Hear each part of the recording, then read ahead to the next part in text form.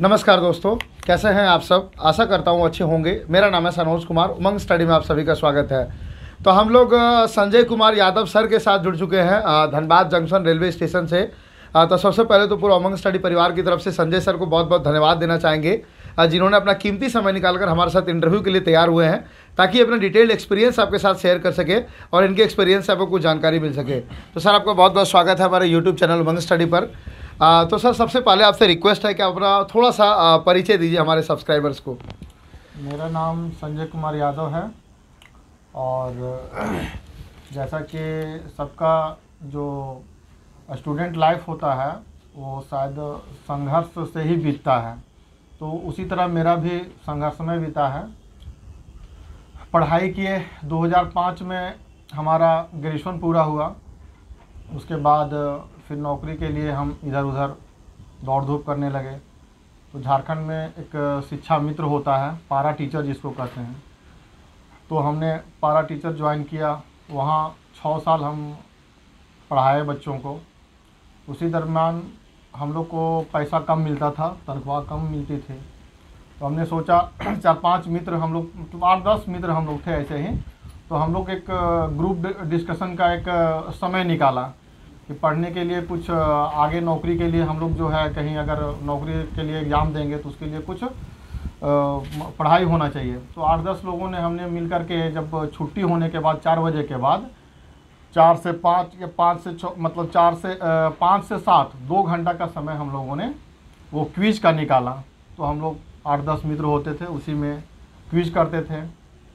फिर घर जा कर के जो समय मिलता था, घर में भी हम लोग पढ़ाई करते थे।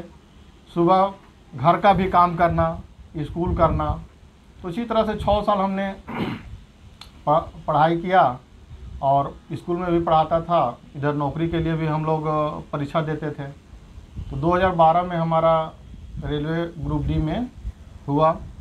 हमने मुगल सराय में ज्वाइन किया।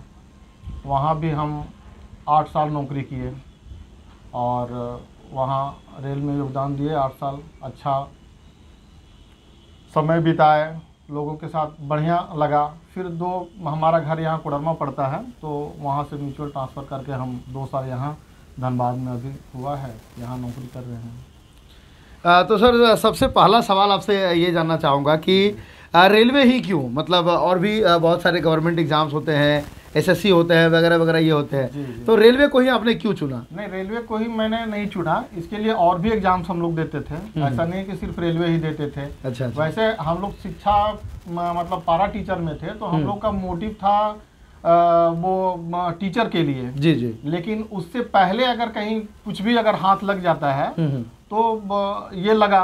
तो अच्छा। हम लोग यहाँ आए। अच्छा। इसके बाद भी नौकरी यहाँ होने के बाद भी हम लोगों ने और कई एग्ज़ाम्स दिए। अच्छा अच्छा। इससे बढ़िया अगर हो जाता है तो हम लोग इसको छोड़ के वहाँ जाएँगे। हम्म, हम्म, तो शायद कहीं एक एग्ज़ाम निकलता है दूसरा में फंसते हैं दूसरा निकलता है तो ऐसे ही मतलब कहीं क्लियर तो हो नहीं पाया। जी जी। जी तो यही बात है। ऐसा नहीं कि सिर्फ़ हम लोग रेलवे को चूज़ किए थे और भी कई एग्ज़ाम दिए हैं हम लोग। हम्म। जी।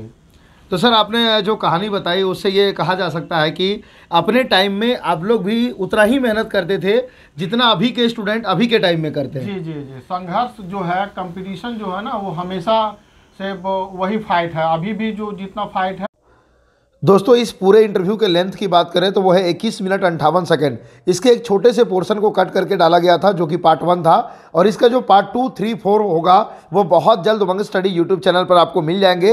इसके लिए आपको क्या करना है, उमंग स्टडी यूट्यूब चैनल को सब्सक्राइब करके बेल आइकन को ज़रूर दबा देना है, ताकि जब भी part two three four upload किया जाए तो उसका नोटिफिकेशन आपको तुरंत मिल जाए।